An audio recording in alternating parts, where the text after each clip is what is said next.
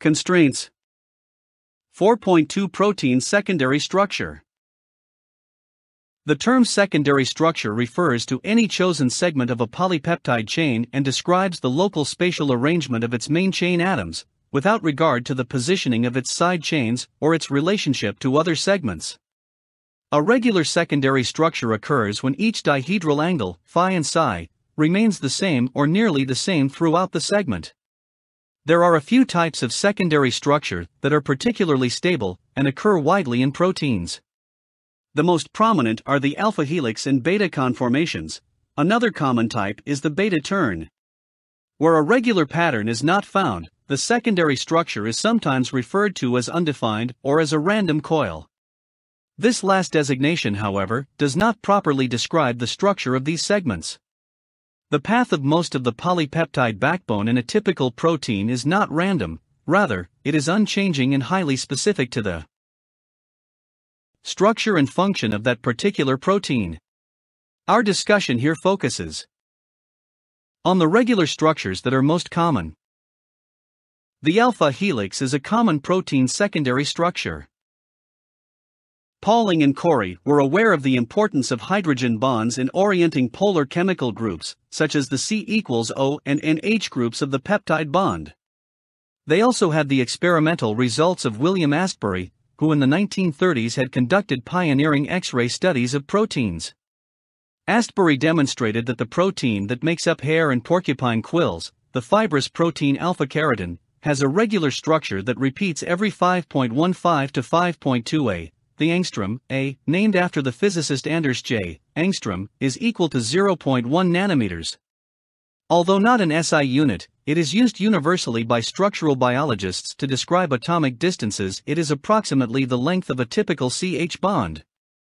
With this information and their data on the peptide bond, and with the help of precisely constructed models, Pauling and Corey set out to determine the likely conformations of protein molecules. Figure 4 to 4 models. The first breakthrough came in 1948. Pauling was a visiting lecturer at Oxford University, became ill, and retired to his apartment for several days of rest. Bored with the reading available, Pauling grabbed some paper and pencils to work out a plausible stable structure that could be taken up by a polypeptide chain. The model he developed, and later confirmed in work with Corey and co worker Herman Branson, was the simplest arrangement the polypeptide chain can assume that maximizes the use of internal hydrogen bonding. It is a helical structure, and Pauling and Corey called it the alpha helix, Fig. 4 to 4. In this structure, the polypeptide backbone is tightly wound around an imaginary axis drawn longitudinally through the middle of the helix, and the R groups of the amino acid residues protrude outward from the helical backbone. The repeating unit is a single turn of the helix, which extends about 5.4 a along the long axis, slightly greater than the periodicity. Astbury observed on X ray analysis of hair keratin. The backbone atoms of the amino acid residues in the prototypical alpha helix have a characteristic set of dihedral angles that define the alpha helix conformation, table 4 to 1, and each helical turn includes 3.6 amino acid residues. The alpha helical segments in proteins often deviate slightly from these dihedral angles, and they even vary somewhat within a single, continuous segment so as to produce subtle bends or kinks in the helical axis. Pauling and Corey considered both right and left handed variants of the alpha helix. The subsequent elucidation of the three dimensional structure of myoglobin and other proteins showed that the right handed alpha helix is the common form, box 4 to 1. Extended left-handed alpha helices are theoretically less stable and have not been observed in proteins. The alpha helix proved to be the predominant structure in alpha keratins. More generally, about one fourth of all amino acid residues in proteins are found in alpha helices, the exact fraction varying greatly from one protein to another. Table 4 to 1 idealized 5. Common secondary proteins. Structure phi psi alpha. Note, in real protein, why does the alpha helix form more readily than many other possible conformations? The answer lies, in part, in its optimal use of internal hydrogen helical bonds. The structure is stabilized by a hydrogen bond between the hydrogen atom attached to the electronegative nitrogen atom of a peptide linkage and the electronegative carbonyl oxygen atom of the fourth amino acid on the amino terminal side of that peptide bond, Fig. 4-4a. Within the alpha helix, every peptide bond, except those close to each end of the helix, participates in such hydrogen bonding.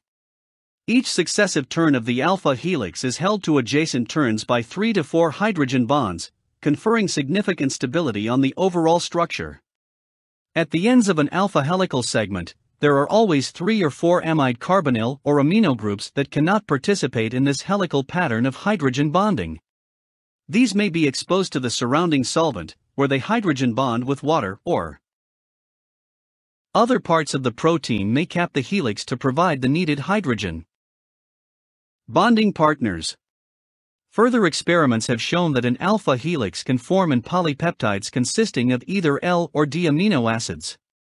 However, all residues must be of one stereoisomeric series. A D amino acid will disrupt a regular structure consisting of L amino acids, and vice versa. The most stable form of an alpha helix consisting of D amino acids is left handed. Worked example and protein. What is the Solution Amino acid sequence affects stability of the alpha helix. Not all polypeptides can form a stable alpha helix. Each amino acid residue in a polypeptide has an intrinsic propensity to form an alpha helix, table 4 to 2, reflecting the properties of the R group and how they affect the capacity of the adjoining main chain atoms to take up the characteristic phi and psi angles.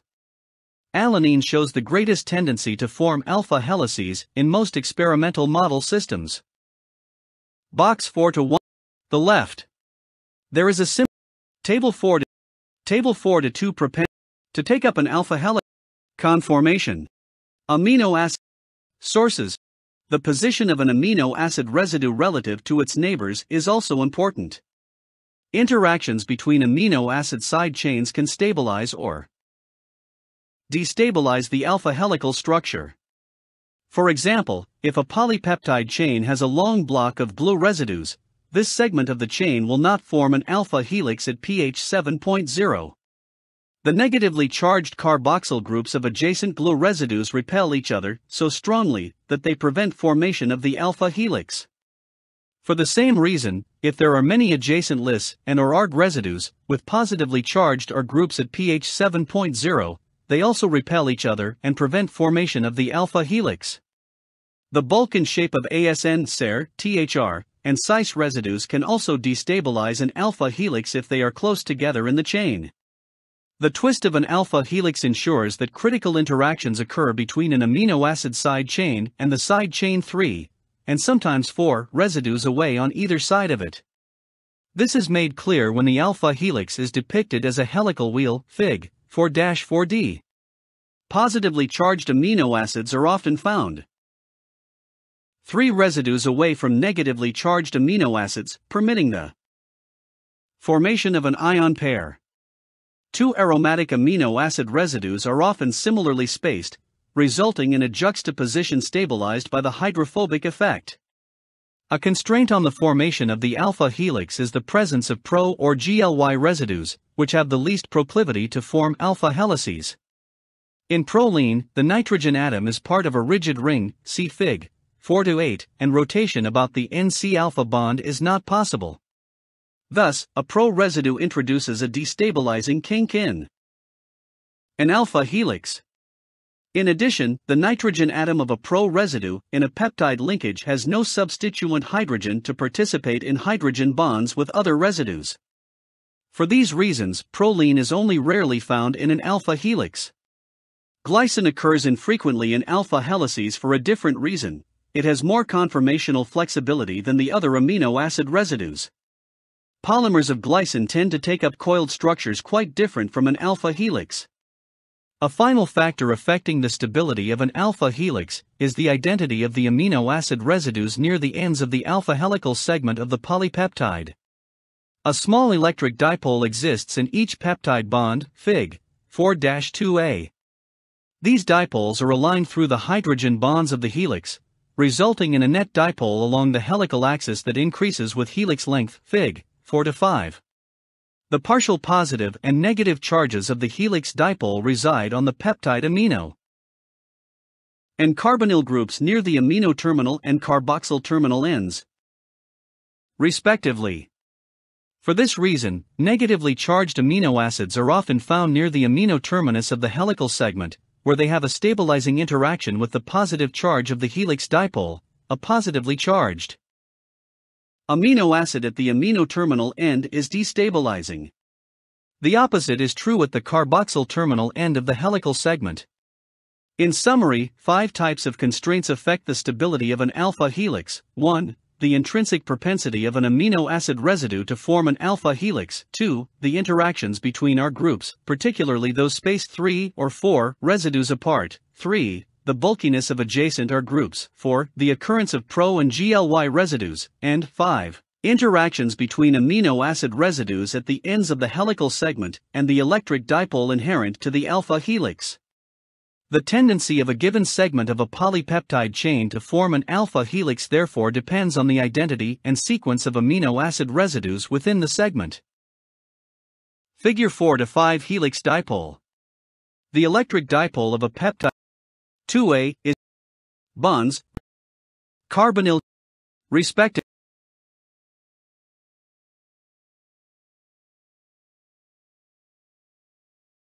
peptide bonds near each end of the beta conformation organizes polypeptide chains into sheets.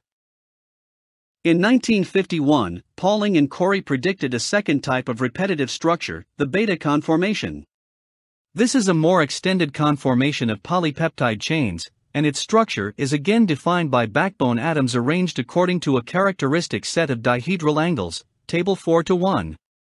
In the beta conformation, the backbone of the polypeptide chain is extended into a zigzag rather than helical structure Fig. 4 to 6.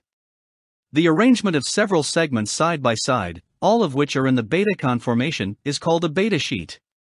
The zigzag structure of the individual polypeptide segments gives rise to a pleated appearance of the overall sheet.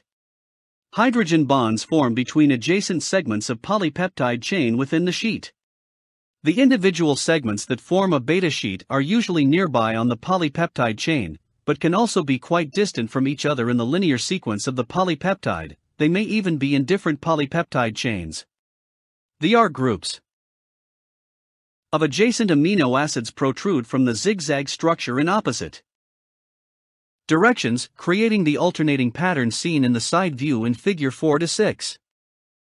Figure 4 to B, C, top emphasized the adjacent polypeptide chains in a beta sheet can be either parallel or antiparallel, having the same or opposite amino to carboxyl orientations, respectively.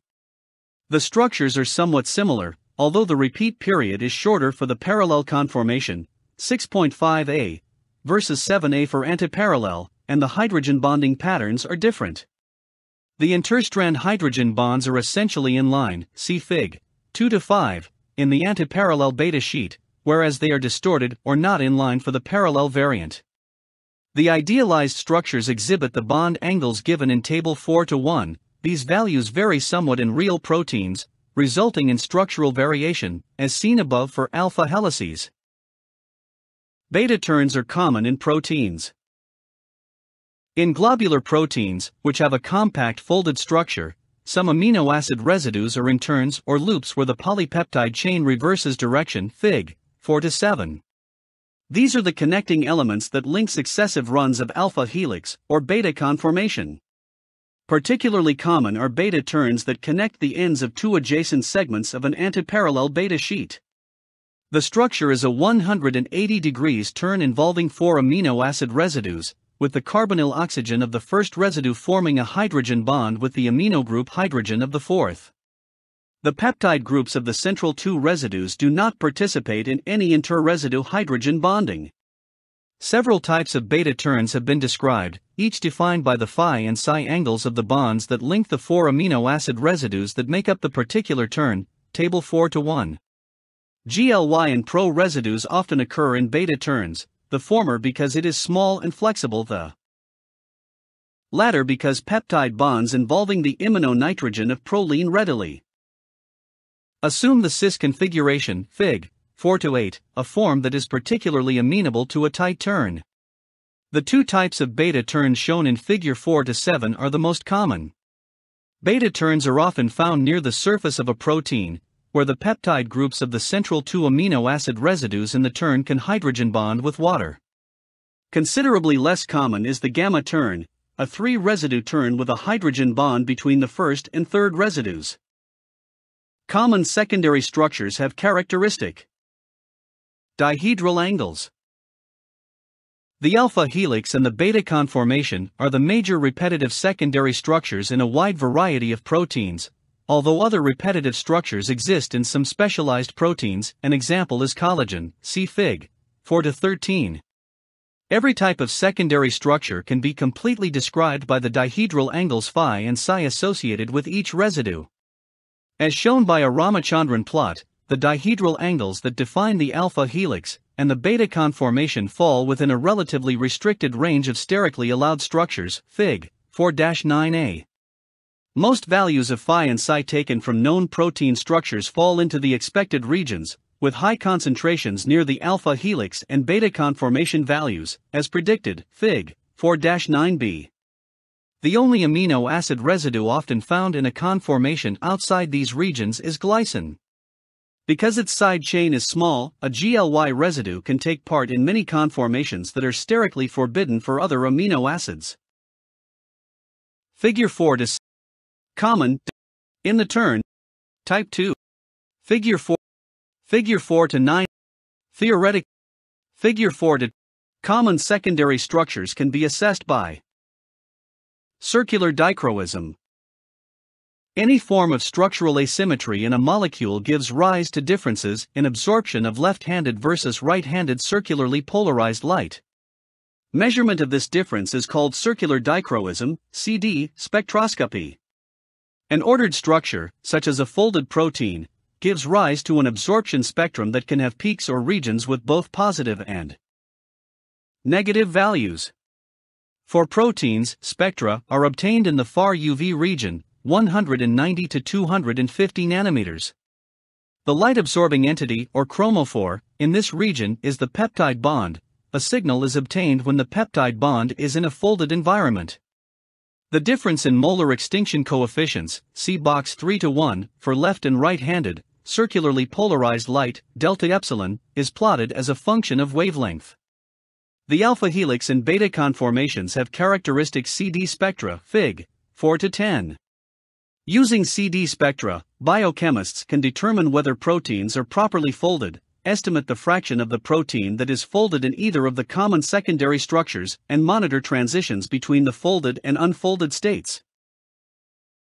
Summary 4.2 Protein Secondary Structure Secondary structure is the local spatial arrangement of the main chain atoms in a selected segment of a polypeptide chain. The most common regular secondary structures are the alpha helix, the beta conformation, and beta turns. The secondary structure of a polypeptide segment can be completely defined if the phi and psi angles are known for all amino acid residues in that segment. Circular dichroism spectroscopy is a method for assessing common secondary structure and monitoring folding in proteins.